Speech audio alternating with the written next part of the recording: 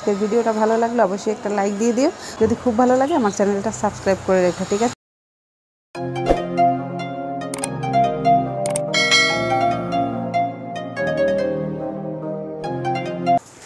High বন্ধুরা, কেমন আছো সকলে? আশা করছি সকলে খুব ভালো আছো। আর আমিও আমার পরিবারের সকলকে নিয়ে অনেক অনেক ভালো আছি।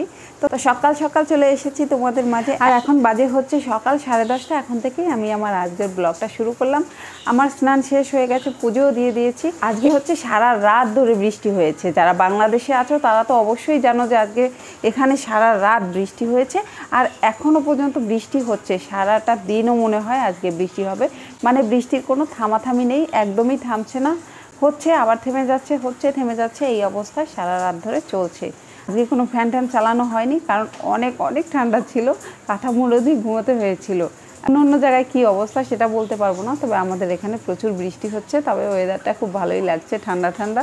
তবে এটা বুঝতে পারছি ভালোভাবেই যে এখন শীত চলে আসবে। দুর্গাপুজোর আগেই হচ্ছে একটু হালকা শীত পড়তে থাকে ভোরের দিকে, তো সেই আবহাওয়াটা চলে এসেছে।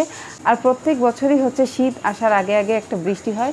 তো এই বৃষ্টিটাই মনে হয় সেই বৃষ্টিটা হবে। তো যাই হোক, চলো আমার ঘরে অনেক কাজবাজ আছে। আমি এখন কাজবাজ করব, তারপরে তোমাদের সাথে খাওয়া দাওয়াটা শেয়ার করব। রান্না করতে হবে। চলো, আগে কাজবাজ সারি, তারপরে তোমাদের সাথে আবারও কথা হবে, ঠিক আছে? কাজের ফাঁকে ফাঁকে তো তোমাদের সাথে সারা দিনই কথা বলব। কথা বলতে তো আর সমস্যা নেই। এদিকে আমার মিনু কালু কিন্তু দৌড়াদৌড়ি করতেছে, খেলতেছে। যাই হোক, একটু পরে দেখাচ্ছি তোমাদের। অনেক কিছু আমার হচ্ছে আজকে বিছানো খিচানো রয়েছে। আমরা আজকে ঘুম থেকে উঠেছি কিন্তু অনেক দেরি করে, জানো তো? আমরা ঘুম থেকে উঠেছি আজকে প্রায় নয়টা বেজে গেছে, ঠিক তখনই ঘুম থেকে ওঠা হয়েছে। ঠান্ডা পড়েছে সেই জন্য ঘুমিয়েছিলাম আর ওর বাবার হচ্ছে স্কুল বন্ধ হয়ে গেছে। ওর বাবা এখন একটু স্কুলে গেছে দেখা করতে স্যারের সাথে প্রিন্সিপাল স্যারে ডেকেছে। কিন্তু আসলে স্কুল খোলা নেই স্কুল বন্ধ হয়ে গেছে। কাল থেকে এসএসসি পরীক্ষা শুরু হবে তো এই স্কুলে অনেক কাজ আছে সেই কাজের জন্যই মূলত স্যারে ডেকেছে।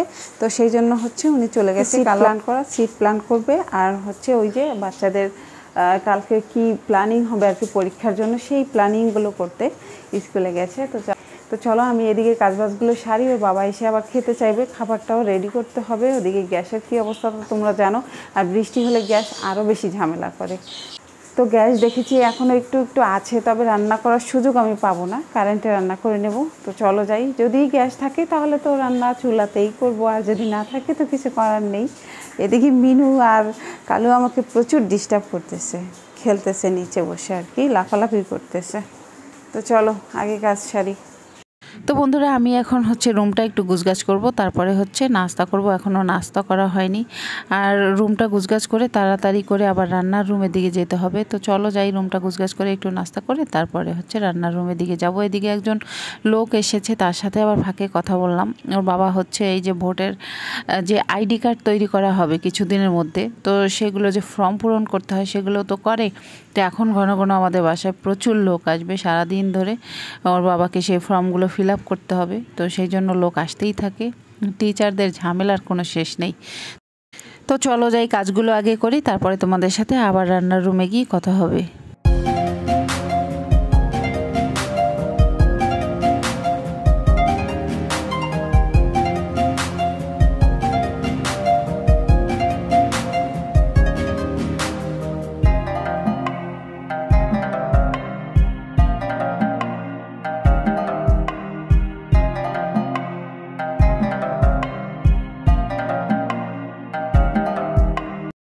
তো এই যে দেখো, আমার মেয়েরা সিঙ্গারা নিয়ে এসেছে, তো এটাই খাব এখন, আর এখন কিছু তেমন একটা খাব না। আর রান্না করতে হবে তাড়াতাড়ি করে। চলো, খেয়ে নেই, তারপরে আবার কথা বলব।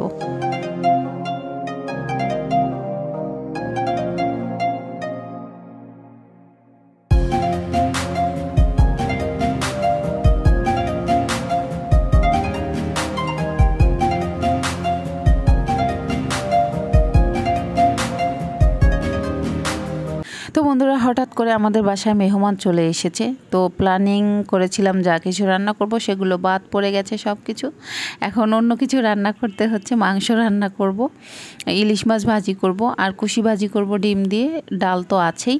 আর সাথে একটা সবজি, পটল আর আলু দিয়ে হচ্ছে কই মাছ দিয়ে রান্না করব। তো মেহমান আসার কারণেই হচ্ছে রান্নাটা চেঞ্জ করতে হলো। যাই হোক তো এগুলো এখন হচ্ছে রান্না হবে দুপুরবেলা। তো তাড়াহুড়োর মধ্যে পুরো রান্নাটা তোমাদের সাথে শেয়ার করতে পারলাম না সরি তো এই যে ইলিশ মাছ ভাজি প্রায় হয়ে গেছে, আর ওদিকে মাংস কষিয়ে নিয়েছি। গ্যাস তো পুরো ছিল না, তার মধ্যে বসিয়েছি, একটু পুড়ে পুড়ে গেছে, কেমন একটা অবস্থা কড়াইয়ের মধ্যে। মানে বেশ সময় ধরে রেখে দিয়েছিলাম, কিছু সময় ভেবেছিলাম যে পুড়বে না, তো হঠাৎ এসে দেখি গ্যাসটা বেড়ে গেছে, আর মাংসের মশলা কিছুটা পুড়ে গেছে, যাই হোক। নিচে একটু লেগে গিয়েছিল, সমস্যা নেই। আর এই যে দেখো, ইলিশ মাছের কালারটা কত সুন্দর হয়েছে। এবার তেলটা দিয়ে দিলাম। আর প্যাটা আছে এই যে মাছের। এটা খেতে আমার ছোটো মেয়ে খুব পছন্দ করে, তো ওর জন্য রেখে দিলাম আর কি। আর মাংস দিয়ে তো খাবেই। তো এই যে দেখো, মোটামুটিভাবে তোমাদের সাথে অল্প অল্প করে শেয়ার করছি। এদিকে মাংসটা হয়ে গেছে, দেখো কত সুন্দর টেস্টি খাবার তৈরি হয়ে গেছে। তো চলো পুরো রান্নাটা তোমরা দেখো কি কি করলাম।